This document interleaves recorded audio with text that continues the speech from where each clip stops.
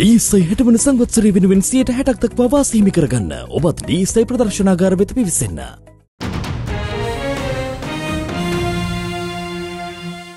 මුල්ලේ ආයතනයක් පවත්වාගෙන ගොස් රුපියල් කෝටි දහසයකට අධික මුදලක් වංක ලෙස පරිහරණය කිරීමේ චෝදනාව සම්බන්ධයෙන් සක්විති රණසිංහ සහ ඔහුගේ බිරිඳ අද කොළඹ වහන්දිකරණය හමුවේ වරද පිළිගනු ලැබුවා. අදාළ මුදල මාසිකව රුපියල් ලක්ෂ 50 බැගින් වාරික ලෙස පියවීමට ඔවුන් එකඟ වී ඇති අතර එහි පළමු වාරිකය අද දිනේම ගෙවීමටද කටයුතු කර තිබුණා. යාපනය අච්චුවෙලි පද්මනි ප්‍රදේශයේ නිවසකට යරාත්‍රයේ එල්ල වූ පෙට්‍රල් බෝම්බ ප්‍රහාරයකින් කාන්තාවක් බරපතල තුවාල ලබා යාපනයේ මූලික රෝහලට ඇතුළත් කර තිබෙනවා. මුහුණු ආවරණය කරගෙන යතුරු පැදි දෙකකින් පැමිණි හය දෙනෙක් විසින් ප්‍රහාරය එල්ල කර ඇති අතර ඉන් නිවසටද දැඩි හානි සිදුව තිබෙනවා.